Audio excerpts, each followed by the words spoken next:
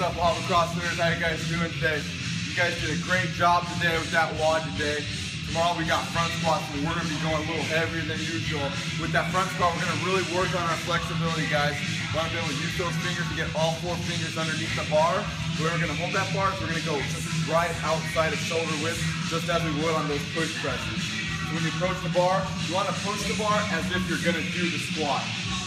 Meaning, I want to come the bar, I don't want to come wide and come into it, I want to get my feet underneath that bar as well.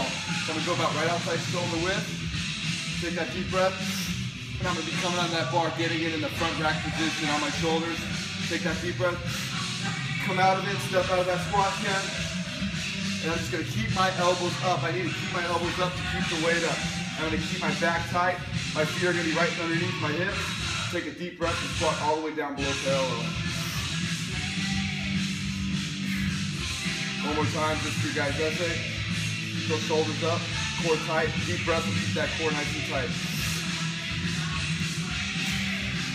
And breathe up. And then when you come unrack it, make sure you come walk into the squat stand. And go ahead and lower safely down back in the squat stand. And that was the front squat. See you guys tomorrow night.